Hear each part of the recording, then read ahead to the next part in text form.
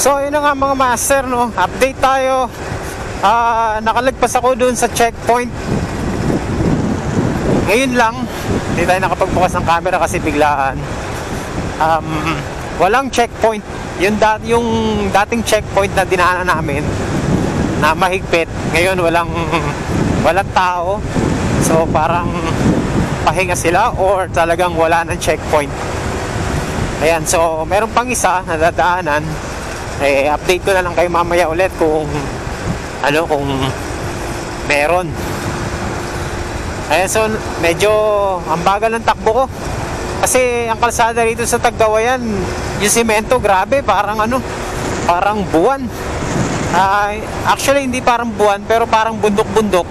Wala namang lubak, ay wala namang butas-butas, pero alon-alon yung simento. Kaya ang hirap magpatakbo ng matulin. Pag asfalto lang ganito, saka tayo nakakapagpatakbo ng medyo mabilis.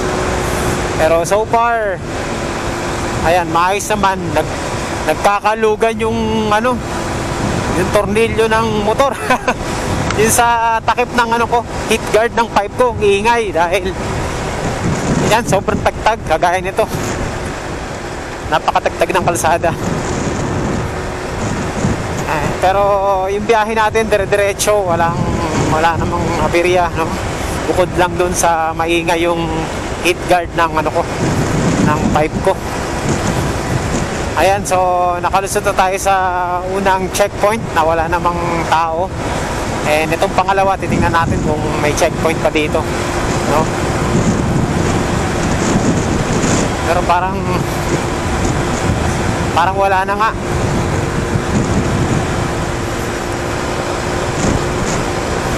Sana nga wala para hindi na tayo maaabala. Kasi layo na nang babalikan natin kung hihingihan tayo ng RT-PCR no. Ah, babalik tayo ng papuntang ano, diet. Iikot na naman tayo. Huwag naman sana. Medyo mabilis-bilis na yung takbo natin. Maisa-isa yung kalsada rito. Hindi na ganun ka katagtag.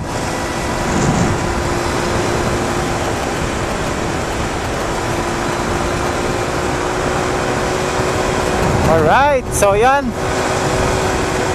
Bilis. Nagwa 100 tayo. So, uh, once again, ang gamit natin is Kimco Super 8 150. No? Medyo may, may kalumaan na tong motor na to pero napakaganda pa ng kondisyon ng makina. And talaga namang man, sariwa pa, no? Uh, magsi 6 years, 6 years na siya eh kasi 2015 oh 2021 na ngayon. So 6 years old. Kimco Super 8. Ayan. And still, napakaganda ng takbo niya. Wala akong masabi. Dito na ang checkpoint. So ito yung checkpoint, no? Tingnan natin kung may nag-checkpoint pa rin.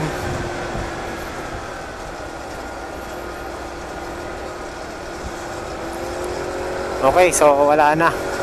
Hindi na tayo pinigil, no? Dire-diretso na lang tayo. Alright, so ayan, nakaligpas tayo ng checkpoint, mga master. At hindi tayo chinek.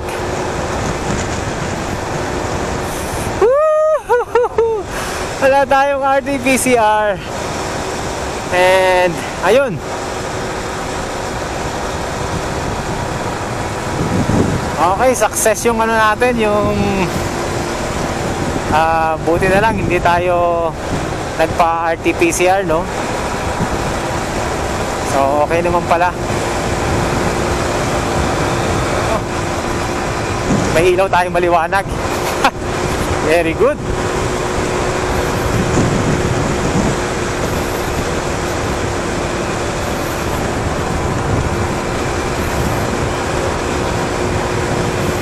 Kasabay tayo, Aerox. Aerox ba to? Hindi ko alam. Basta, ganun.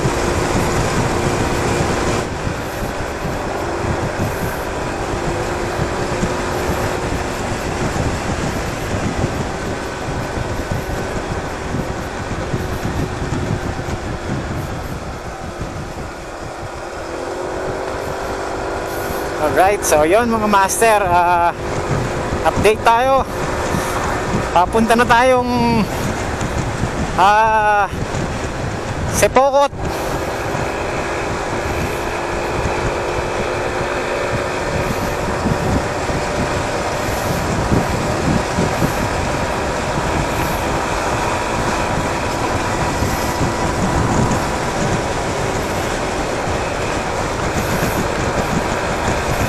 At yan, may sinusundan tayong ano, Aerox. Aerox ba to? Oo. Aerox nga. Nagmamadali. Sinusundan lang natin kasi ang, ang lakas ng ilaw niya.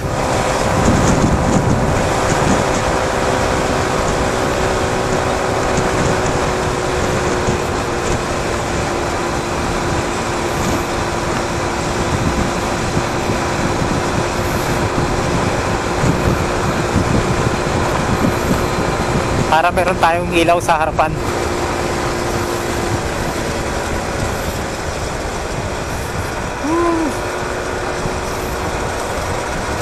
At least meron tayong nakasabay na. Shoutout sa inyo.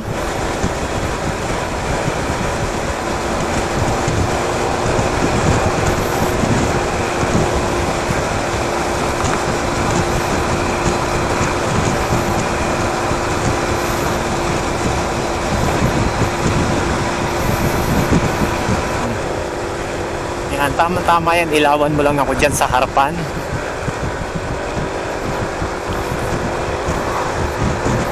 Para kita ko yung mga dinadaanan natin. Ah, buti na lang, meron tayong kasabay na medyo magilas-gilas di magmaneho, no?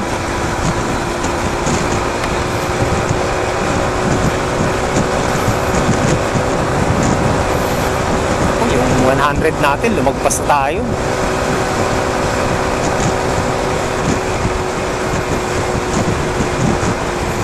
Okay lang. At least mapapabilis yung biyahe natin.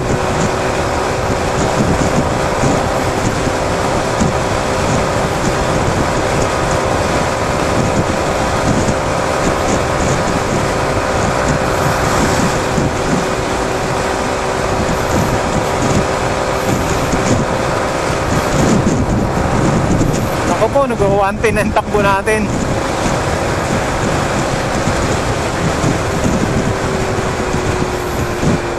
Sabi ko, 100 lang eh.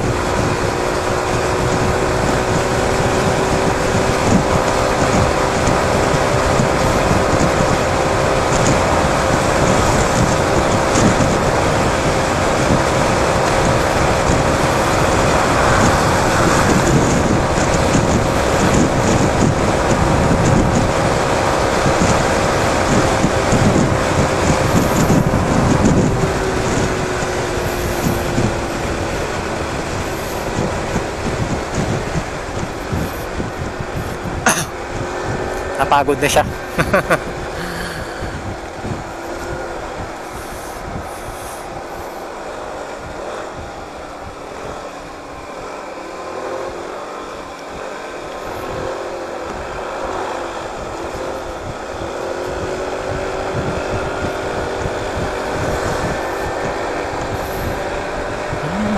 Ayaw niyong pumayag talagang ano. Nandito ako sa likuran niya. Ang damot mo ah, nakikiilaw lang ako sa'yo.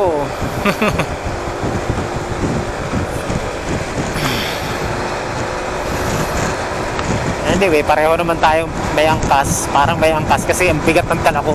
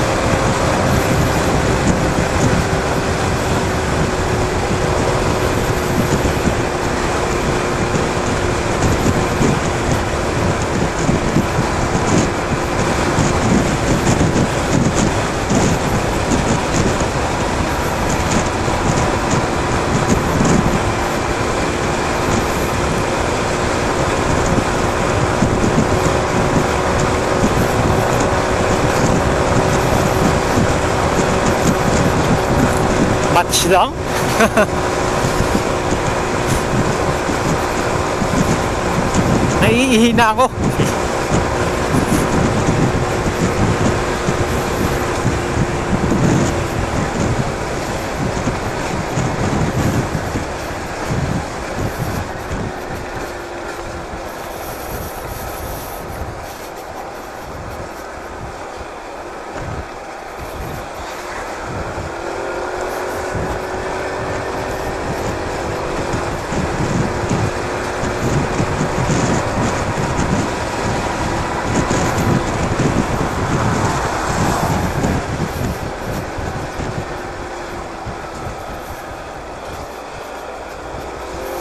Ayaw talaga niya magpatalo. Anyway, para mapabilis lang yung ano, biyahe natin.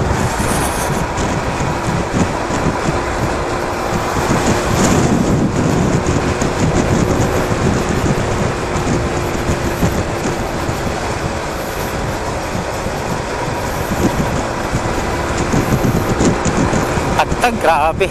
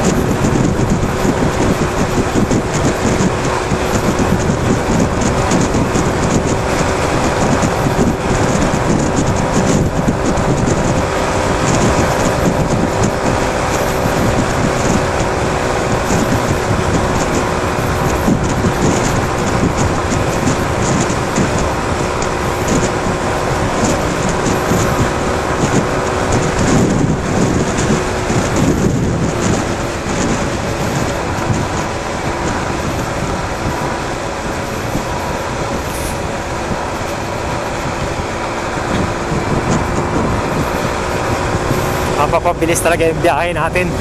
Kasi hinahabol natin yung ilaw. Huwag kang lalayo dyan ka lang. Hindi ka makakawala sa akin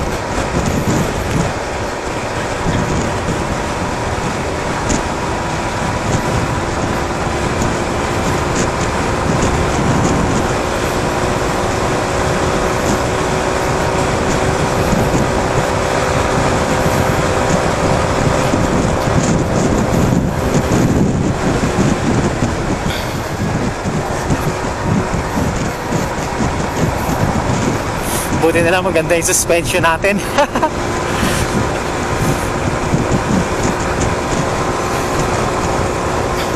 Nakaka-catch up tayo.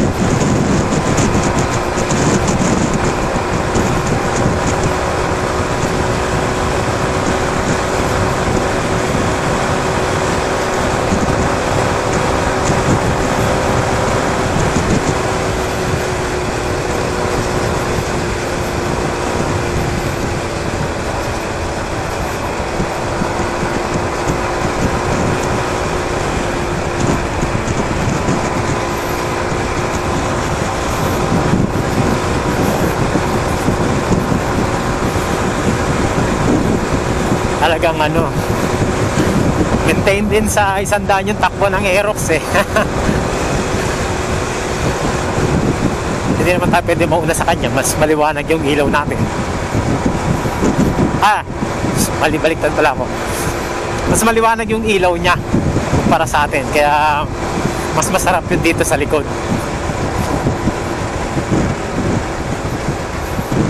So yan imbis na 80, 90, 100 lang tayo. Naging 100 maintain, no? 100, 110.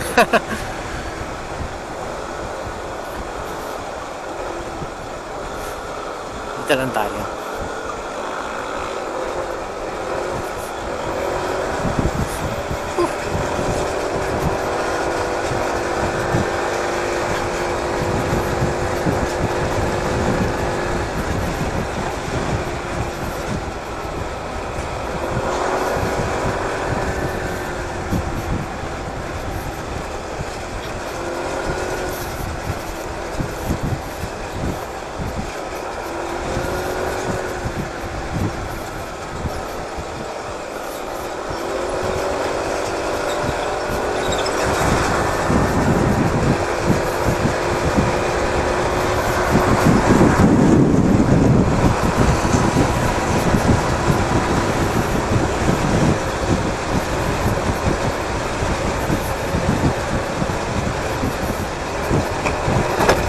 Uh! Grabe, lalim ng lubak ah.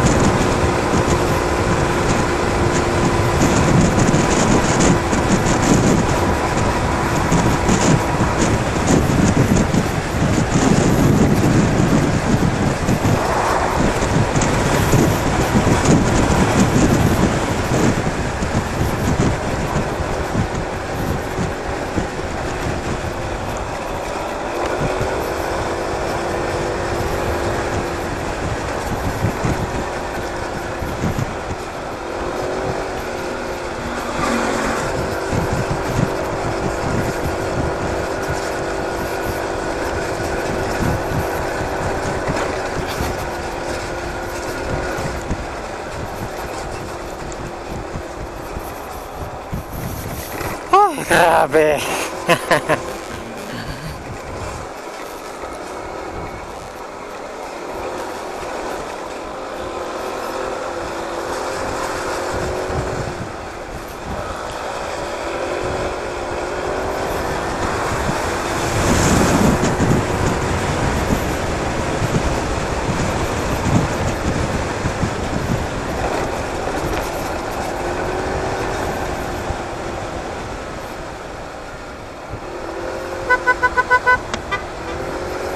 Ngayon.